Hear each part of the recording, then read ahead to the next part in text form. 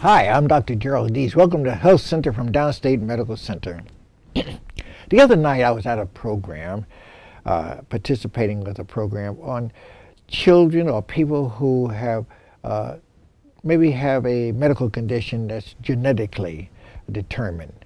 So I was at this program, and uh, this young man got up, and he, uh, he didn't have sickle cell anemia or any of these other things that people were telling about their children and things like this. But Uh, I found out his name was Keith Richards because he got up and he did a, a rap, or not a rap, a poem that really was just fantastic. And so after I saw that, I said, man, now here, uh, here this young man had to be born with a condition that didn't stop him in his tracks. That's the thing. Didn't stop him in his tracks because he has got some voice and got some words that God put in for here for a purpose to share the light of, of, of day on so many other people and uh, to the point where you know I don't receive I, I receive awards. I was there to receive an award that day from children with diabetes.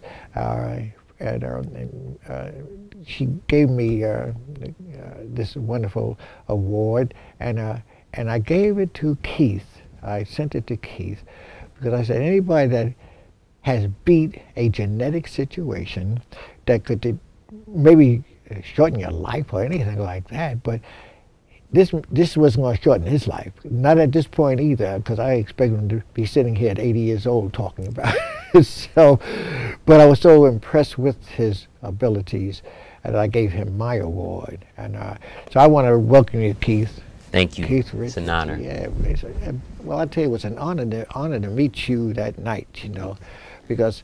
Um, maybe just before we get into this, um, you just talk a little bit about uh, your condition, maybe medical condition, so people have an understanding of what Certainly. it was. Mm -hmm. All right. Well, the name of my condition is called von Hippel-Lindau disease, okay. VHL for short. It's named after the two doctors that discovered it, Dr. von Hippel and Dr. Lindau. Right. And basically the way that it works is um, it is a genetic condition that uh, manifests itself in different um, tumors that can pop up in many various uh, spots right. on the body and um, uh, spots and tumors that can happen.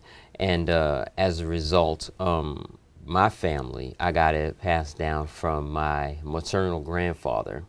He uh, died before I was born right. um, of a brain tumor. I see. And um, I had an uncle that passed away. -huh. Um, my aunt Laverne -huh. passed away. My mother, Kathleen, it did her in also. I see. Mm -hmm. Yeah. So right. and um, I've had brain. I've had two major brain surgeries and one minor one. Although I have no idea how you could call any kind of brain surgery minor. Right. But that's what they say. Right. Surely. Surely. Yeah. And uh, and and you so you followed it from the uh, the DNA. Right. Did it go any past? Did you able to follow it any further than your immediate family that you were just talking about? Um, I'm actually a part of an alliance called the VHL Alliance, and um, it links people um, all over the country and all over the world that share this uh, genetic illness. Right. And um, as far as I know, myself, my family, and another black family that lives in Baltimore mm -hmm. are the only two black families that they know about in oh, the country. Right? Wow, that's with VHL.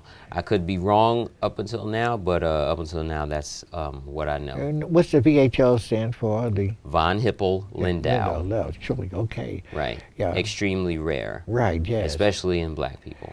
And uh, well, now the thing is that around here, you're sitting here. Yes. What about your schooling? What, uh, how, when you went to school, public school, did uh, how far did you go in school? Um, I, I went to elementary school, junior high school, graduated high school, Martin right. Van Buren High School. Right. Shout out to Martin Van Buren. Right. Uh, and then I uh, went on to graduate and get my Bachelor's of Arts from uh, the University of Delaware. Okay, and yeah. what was that in?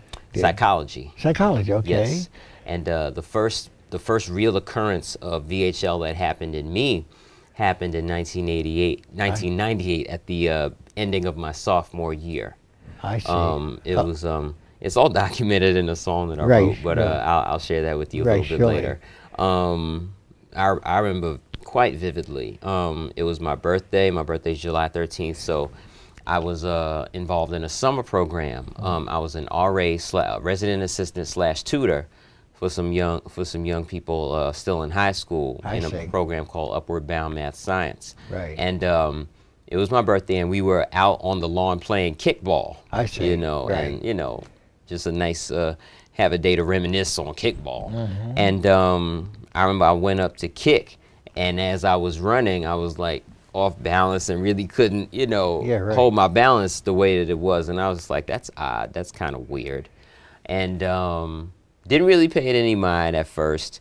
Then I started to have some headaches, Mm-hmm. and um, I started to uh, regurgitate a lot, I see. vomit a lot, and um, um, and as a result, it just progressed and progressed Mm-hmm. to the point where I was just really feeling some type of way, miserable. And how old were you then? I was I had just turned 19, Actually, right. Okay. and um, you know it had persisted and persisted after I, after the program was over. I went back home to New came back home to New York, and I told my mother and my father and my sister what was going on with me, and um, and all this time had gone by, and it never occurred to me that um, I may have VHL. I see. Meanwhile, my mother had uh, been through numerous surgeries by then. oh, I see. Yeah. And she knew she had it. Yes, Uh-huh, absolutely. right. Her and my auntie. I see. So, um, you know, and, it, and it, one day my mother just was just got really sad, overwhelmed, and started to cry because of what was going on with me. Yes, you know, she didn't like seeing me sick or in any kind of pain,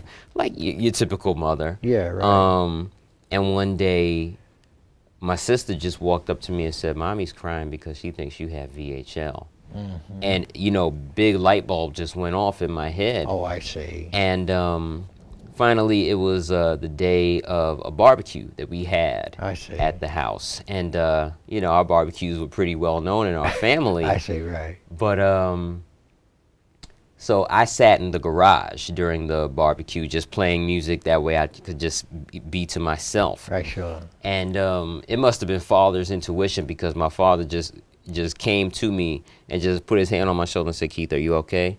And I just shook my head, and he was like, "Come on, let's go." And he put my arm around him and just walked me to the house. Right. And I just spent the rest of the barbecue in my bed. But what happened was, um, as a result, everybody saw my father walk me to the house, Right, and everybody's upset. Now, the one thing I didn't want to happen Right. happened. I I, didn't want everybody making a fuss over me and just, Right, you know, messing up their good time. Yes. You know, so I must have got like 15, 20 visitors throughout the rest of the day Right. coming up to my room. And then when the barbecue was over, my father was like, get your stuff, we're going to the emergency room. Right. That's it, you know. So I'm in the I'm in the um, hospital for about two or three days, and they're doing tests or whatever. And at first they say that um, it's a viral infection of, Right, of some sort, and they were about to release me and deal with me on an outpatient basis. Right. But my mother was like, I don't want him to leave this place without getting an MRI of his head because he's been having headaches and I have VHL. Oh. So um, yeah, yeah. I, I, I told my I, I told my mother when I came home from the hospital that she saved my life, you know. Yeah. But um, and they were like, all right, fine, whatever, we'll take the an MRI. Isn't that something? I mean, they Yeah. didn't get any history Mhm. uh, uh, other than here's just another person with some kind of symptoms or Right. something like that. you know, And they could miss the whole boat, you know, just by being.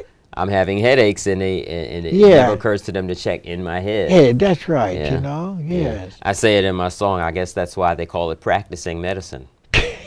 right, oh, yeah, sure. Yeah.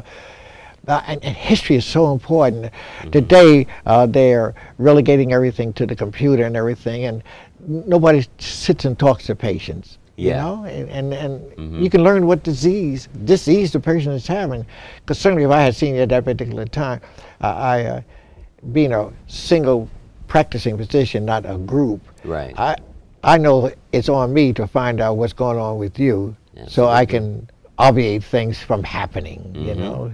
So what took place? So after they found out, after I found out that you know they took the MRI and I'm just sitting in my bed, just waiting to go home at this point, because it's just like you know everybody's wasting my time. I'd rather just you know if I'm gonna be sick, I'd rather be just sick at home watching That's TV right. or something, Surely, chilling. surely, Um, then uh, the main doctor came to me and said, Keith, we found something Mm. after we took the MRI. He showed me the uh, image. Right. He said, We found you have what is called a hemangioblastoma Oh, yeah. on your cerebellum, on the left side of your brain. Right. And uh, your cerebellum is the area that affects balance, coordination, wakefulness. And these are all symptoms that I had. Couldn't get enough sleep, couldn't keep any food down. Right, yes. You know, and my balance was off. I couldn't stand with my feet together with my eyes closed. And how old were you then? I was 19. I just turned 19. Yeah. And um, so I immediately thought of my uncle who Yeah. died who died when he was 19 Right, chilling. and my grandfather and, and you know the tears started flowing i'm just Yeah. like man i'm about to be out of here so Yeah. many things that i wanted to do right, sure. i at least wanted to graduate college you know were you in college at that time? yes i just finished my my sophomore year You, and know. what college was that? university of delaware Okay, right. yeah, Yeah. home of the fighting blue hens Right. right. and um you know i i had just crossed in my fraternity What fraternity? Kappa Alpha Psi Fraternity Incorporated. Well, all right. well, all right. You know, that's, Uh, a, that's yeah, a beautiful I'm- thing. I'm a Kappa. This, this this world is a small place, is it not? right. so you you at home now, right? Yeah, I'm really at home now. right. But um, you know, because I, I wanted to get active in my fraternity. But before before you are um, talking a little further, with that handshake we just did, nobody recognized, but we do recognize it by a handshake, right? Absolutely. okay. Oh, yes. If I didn't give you the handshake, you, you say you're jiving. Yeah, you're shucking and jiving. Shucking and jiving, right? Go ahead. Well, anyhow, you know, I wanted to get active in my fraternity on my Sure. college campus. yeah. You know, so you know, so many things were on the horizon. I just, you know, and I'm just like, oh, come on. Yeah, right. And I just, I just got so shook. I was so afraid. I'm thinking of the men in my mother's life. First her father, then her brother, and now her son. I'm like, oh man Yeah, sure. you know, and um, I have to give a great deal of uh, gratitude, thank, thanks, and credit to my aunt Tina, my mother's older sister, Right. Because she was the first family member to come see me when I, after I got the news. I She see. came to my room in the hospital, and she just she just saw I sat on. She's like, "What happened?" Mm-hmm. And I said, "They just told me what happened. Um, I have a uh, tumor on my on my brain." Right. You know and um, so i was just sitting down and she just she said what are you thinking about she, i said i'm thinking about my uncle and my grandfather that's what i'm thinking about yeah, surely, of course. she said now you listen to me that was more than 30 years ago in Right. brooklyn you know with black people with racist doctors Right. sending my brother home Sure. saying stop wasting our time didn't know what they were doing didn't know what they were dealing with Sure. and now this is 1998 and um, you know they found it a lot earlier Yes, than they right. did with my brother and you're gonna be okay There you okay Sure. and i don't know if it was her authoritative tone the Yeah, fact that she was a school principal or my mama's older sister or all of that thing Yeah. all of those things but i believed her Yeah, sure. you know i really Okay. did and I, I just like you know what i am gonna be okay Oh, you better believe. Sure, know? that belief system is something else. yeah Oh, and yes. um Yeah. So you know they transferred me from um, that hospital to um, another one Uh-huh. where they did uh, my surgery and I woke up, you know, and uh, it, and uh, had had the staples in my head and everything, and I was just like, thank God, I'm, I'm still here. That's right. Praise the Lord and pass the hot sauce. pass the Hot Sauce is right.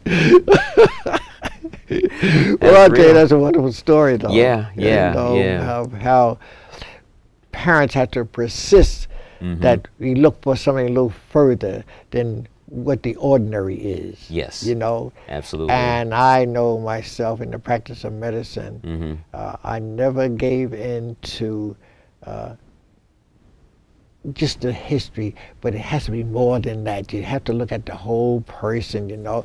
In fact, to the point where many times I had to resort to prayer, Yes. you know, uh, to understand it. Uh, many nights I woke up three, three o'clock in the morning and things would run through my head, and I'd, I'd have to get up and write it down immediately so I wouldn't forget the next day mm-hmm. to question this patient about this thing or that thing that I might have missed. Yeah, that's how I am with rhymes and poems. I know. You know, sometimes a cool metaphor will pop in my head. Yeah, you have to get them two words that right? rhyme. Yeah, I'll roll over and grab my phone and, and uh, type it in the notes section. Yeah, I yeah I I just did that the other uh, other night. In fact, I'm writing a book right now. You know, okay. And uh, I want to know what the chapters should be and things like this. And so, and it, it's not a, it's a medical text, it's a life text uh, with medicine included in it, mm-hmm. you know, so uh, showing how we all have medical conditions we don't even know about uh, yeah. or pre- could predict. We know people that die suddenly of a heart attack and it doesn't have a, your particular condition, but they just have a, a bad use of fats in their arteries. you yeah. know what I mean? And yes. so, so I'm looking at you right now, and you you just look good and healthy. Thank you. And you're feeling good. That's the main feeling thing. Feeling better. Better. Feeling yeah. better. That's you good. know I'm not I'm not 100 percent, but I'm way better than I was a year ago and a year before that. Yeah, and that's tremendous. There's a, a teacher at NYU named Dolores Krieger. Mm-hmm. She had therapeutic touch. Okay. And uh, she showed how we're just nothing but electrons. Mm-hmm. That's all we are. In fact, my first test in chemistry at Brooklyn College was what holds up a bridge, and everybody drew the cables and right. this thing. And he said, and he gave us an hour to do the test. so he said, I just wanted one word, an atom. Mm-hmm. an atom. Yeah. you know, yeah. and that holds up a bridge. Mm-hmm. You know, go ahead now. What now? As far as your art and so forth, um, maybe you could recite something that you think would be showing that you're right here with us right now and can instruct us. Maybe, what's the name of the poem? Uh, staples. Staples. Staples. Okay. Because my head had to have some staples right. that stay okay. shut. Right. Go ahead. You know. All right. Well, this is my song Staples. This is a acapella. Um, here it is. July 13th, 1998 celebrating my birthday, but still I didn't feel so great. My equilibrium was off and I was mad tired. Head hurt and feeling out of it and uninspired. At first I didn't pay it any mind, because everybody gets a little headache from time to time. So I figured I'd shake it off and keep it moving. But as time went on, I noticed my situation wasn't improving. On my face I kept a frown, because it got to the point where I couldn't keep any food down. Sometimes I would lose the feeling in my hands. Couldn't keep it together for nothing, so I had to cancel my plans. On the surface I was cool, taking it in stride. But all the while on the inside, I was petrified. My parents could no longer assume. That's when my dad said, Get in the car. We're going to the emergency room. So now I'm praying God will keep me from harm. Laid up in a hospital bed with an IV in my arm. I can't begin to explain my aggravation. Surrounded by doctors, but no one can give me an explanation as to what was going on up in my body. I'm constantly hearing words like maybe, possibly, and probably. The doctors were ready to tell me goodbye. That's when my mama said, not until he gets an MRI. That's when the doctor saw it. A hemangioblastoma on my brain fixing to put me in a permanent coma. I just cried thinking I was in the last of my days. I had a grandfather and uncle who passed away from the same exact thing, so I never got to meet him. And now I'm thinking it won't be long before I greet him. Never doubt the word of a physician, but if I gotta choose, I'll always go with mother's intuition. So as soon as my parents knew the deal, they got on the wire, had the word spreading like wildfire. I'm talking about from Virginia to, De to Delaware, New York to St. Croix. People sending up prayers that God a smile on their baby boy. Basically, it wasn't my decision to make. I couldn't die, simple as that. Make no mistake. I had my whole life ahead of me, and I'd be remiss if I wasn't around for mom, my dad, and my little sis. My procedure went according to plan. Some people don't make it through surgery, but here I stand, and I can't complain. Life's been good to me thus far, and I keep a fresh cut around my surgical scar. I went back to school, finished it, and got my degree, all on the strength of the fact that my people prayed for me. You were there to hold me down through all the pain and the strife. That makes twice that I owe you my life. Mom, I love you. you know? Thank I'm, you. I'm glad you're a Kappa. Yes, me too. me too. Yes, I, I, I love the Nupes. I do. What about breaking up? Breaking up? What you mean? Oh, I have songs about that too. Yeah. Would you like to just do a little bit? Certainly, certainly. Um, this was this is a song called "Shoulda Known Better," based on um, a crappy relationship that I went to that uh, I got into for all the wrong reasons. Um, um, I'm in a heap, thinking about the company I used to keep. Baby got me losing sleep because I'm hurt deep. Taken into using good love making as the foundation for what proved to be a jacked up situation. Whenever she would call my name, I would run to her because all I wanted to do was be up under her. She had me captive from sunup to sundown. Felt my soul shake when I made her love come down. Lips juicy, fat booty, hips curvy. Got my world topsy turvy because this chick is untrustworthy. Negative situations always take a good turn. And every day is an opportunity for you to learn. Mm. When you don't attack and just retreat, you admit defeat. But you can never see light without feeling some heat. I tell myself over and over that I won't sweat her. But deep inside, I'm pissed because I should have known better. You know what I'm saying? Just one verse, you know, but it's a whole song, you know. Listen, here you got yourself a whole connections. Yeah. You know, maybe you talk about. We have about one minute to talk about connections. Certainly, certainly. uh, and and of course animated poems. Here, Volume one. But volume one, and Yes. so people will be able to pick this up also. you Absolutely. know. But Keith, I tell you, uh, time goes so fast. Yes. I had to have you on. hmm We'll do another show again, of course. But I- Absolutely, I'll be back. yeah, but I and I, I want to um, do something for you here at the hospital too, uh, as such, because um, it's so important to know how people with dis-ease can bring it all together and make it easy on Yes, yourself. You know, and so basically it's a, just a pleasure having you here today. Uh, I was so impressed that night when you got up and recited, you walked up and down that thing and letting those people know who you were, you know. Yes. But now, do you have any other, uh, in a minute, plans for future employment of such?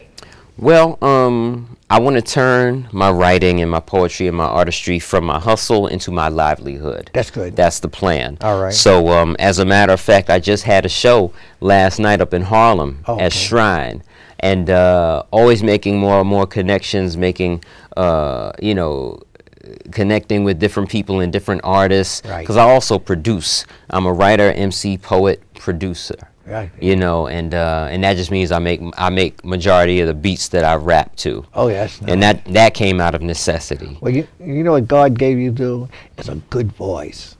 yes, and uh, I thank God and I thank my father because right? my voice, you know, you hear me, you hear him. Is that right? Yeah. Absolutely. Well- I remember uh, I, I I have a um song that I'm uh putting that I'm gonna put out. I, I write so far ahead of myself. This is my second album, but I'm I'm already writing songs for my fifth. Oh, wow. Yeah, I have a song. Um, now I'm letting the cat out the bag. I wanted to surprise my dad, but it's all right. I have a song that I'm right that I wrote that I've written for him, where I say, um, after puberty hit, I got his vocal tone. People thought it was him every time I answered the phone. You know, so that's just one thing. Right. But uh, I remember like back when I was um, in junior high school, went from uh, the first year to the second year. That's when my voice really, you know, I went from this to this. you know so um I, I would answer the phone all the time hello yeah listen brother steve this is such and such i'm like hold on hold on who is this you want to talk to him all right hold on i'll get him for you and they're like who this keith i'm like yes boy you sound just like your daddy oh my goodness you know and i say i know I, i'll get i'll get him for you hold on you know so um, Well, Keith, I tell you, I didn't know that you were a Kappa. Yes, sir. I didn't know that all what you have done, mhm.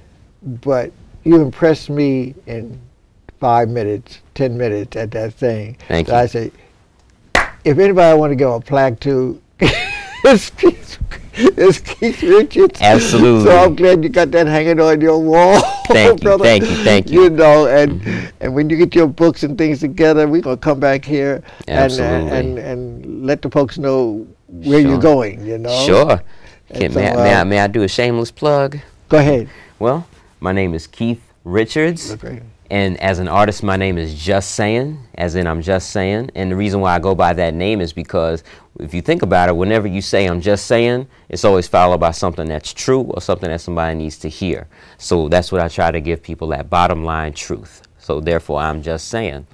And um, I've been doing my thing. I've been writing my entire life, and I've accomplished. I have two EPs, two short albums, two full-length albums, and I have a book of my poetry, Animated Poems, Volume One. And you can access all of these things at my website, www.justsayinmusic.com. J U S T M S A Y I N M U S I C dot com. Peace and love. Thank, Thank you, Keith. Thank you, Kappa brother. I hope you folks have really been inspired. I certainly have been inspired just by listening to him just a, uh, a few seconds, a few minutes on the floor at the last uh, thing I went to. But uh, keep on keeping on, people. But make your doctor uh, give you uh, more uh, better uh, history sometime, and uh, maybe they'll find out what you got. Absolutely. so, so, I'll see you the next time. This is Dr. Deas and Keith Richards.